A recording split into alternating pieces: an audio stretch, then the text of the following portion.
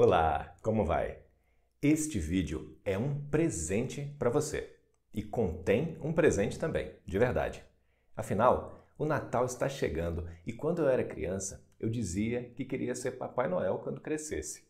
Eu já mudei de ideia desde então, mas esse ano eu resolvi realizar aquele sonho de criança oferecendo a você que está me assistindo um presente especial que eu mesmo fiz com muito carinho.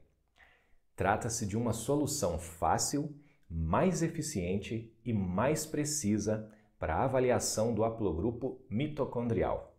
Um arquivo de template exclusivo que contém uma coleção de SNPs maior do que a de um arquivo 23andMe V5 mas é 100% compatível com a ferramenta MTHAP, mais conhecida pelo nome do autor, James Lick.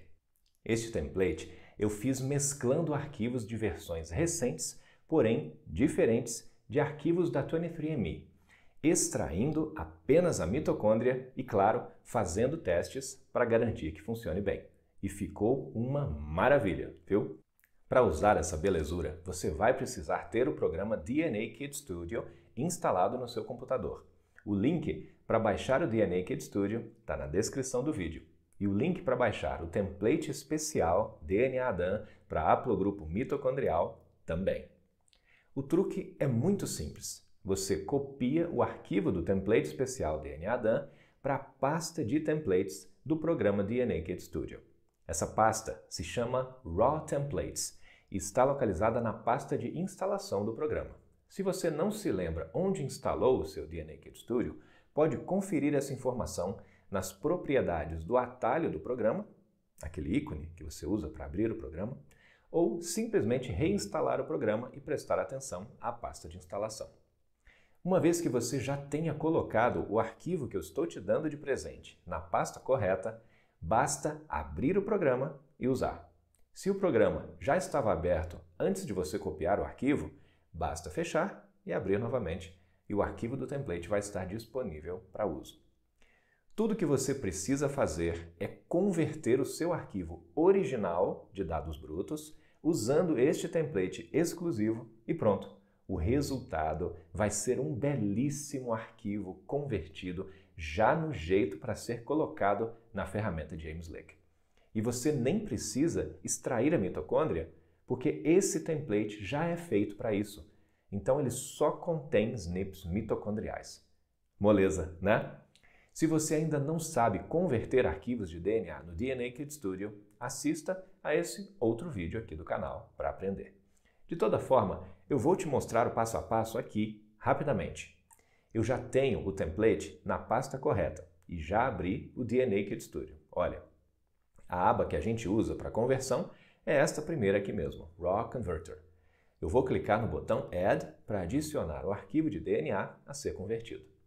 Aqui você tem duas escolhas possíveis, ou o seu arquivo original, ou, se você tiver, um super kit, que seria melhor ainda. Se você ainda não sabe como criar um super kit, assista a esse outro vídeo aqui do canal. Então, atenção! Não escolha um arquivo já previamente convertido aqui, senão o resultado não vai ser tão bom, pois ele teria menos informações, ok? Eu vou escolher o meu arquivo original da Genera para essa demonstração, porque é o arquivo que a maioria das pessoas que seguem o canal vão ter. Um arquivo original recente da Genera tem uma coleção de cerca de 950 SNPs mitocondriais. Alguns deles vão se perder na conversão, o que é esperado, especialmente em conversões com template. Mas a ferramenta James Lick pede um arquivo no formato específico da 23andMe, com uma coleção de SNPs também exclusiva da 23andMe. Então, se o seu arquivo não já é da 23andMe, você não tem escolha a não ser converter mesmo. Mas agora você tem a escolha de converter usando o meu template que vai gerar um arquivo bem melhor, como eu vou te mostrar. Então, vamos seguir.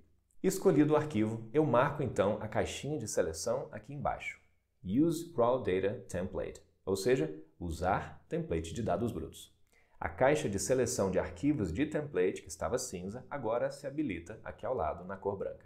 Eu clico não nesse espaço em branco, mas sim nessa setinha aqui ao lado direito para ver os templates disponíveis. Vou escolher o template especial de que estamos falando nesse vídeo, é claro, que é esse aqui, olha. Template DNA Dan haplogrupo mt.txt. Pronto, ele agora aparece selecionado aqui ao lado. O restante das opções eu não preciso mudar. Então, se tudo estiver correto, eu clico agora no botão Convert aqui em cima para efetuar a conversão.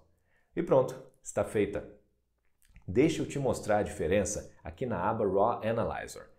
Eu vou comparar o arquivo que acabei de converter usando o template novo com um arquivo de DNA mitocondrial extraído de um arquivo Genera convertido ao formato 23MV5, que é o método tradicional que eu também já havia demonstrado aqui no canal, neste vídeo aqui. Veja o resultado da comparação. O arquivo que eu fiz usando o meu template mitocondrial tem uma coleção de 3.887 variantes, enquanto o arquivo feito com o método tradicional tem cerca de 2.462.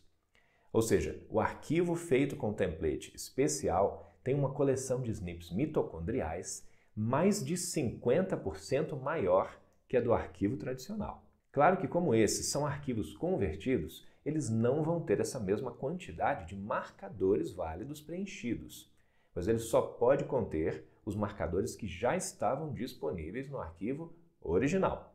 O restante fica marcado como no call. E o arquivo do template especial leva uma boa vantagem nisso também. Enquanto o arquivo do método tradicional fica com cerca de 650 variantes válidas das 950 do arquivo original. O arquivo feito com o template especial fica com cerca de 850, ou seja, 30% a mais, como resultado de uma perda três vezes menor. Esses cerca de 200 SNPs preenchidos extras tendem a fazer uma boa diferença na análise, que será então mais precisa. E isso é tomando o arquivo da Genera como ponto de partida. Porque se você tiver um super kit, então a diferença vai ser ainda mais expressiva. Sensacional, né? Isso significa que se você usar este método que eu acabo de te ensinar com o template especial DNA DAM mitocondrial, o resultado da sua análise vai ser mais confiável e, se você der sorte, pode até obter uma subclade mais específica do seu haplogrupo matrilinear. Então, gostou do presente? Eu espero que sim. Esse vídeo fica por aqui, mas fique de olho porque no próximo vídeo do canal eu vou te mostrar passo a passo como usar corretamente a ferramenta James Lee MTRAP, saber quando sua análise está correta e saber interpretar direitinho o resultado. Você vai curtir que eu sei. Então já deixa sua curtida nesse vídeo aqui também e o seu comentário, seja com dúvida ou com relato da sua experiência com o template especial da NADAM. E é claro, compartilhe esse vídeo com todo mundo que também merece ganhar esse presente de Natal. Obrigado pela companhia e até o próximo vídeo. Abraço!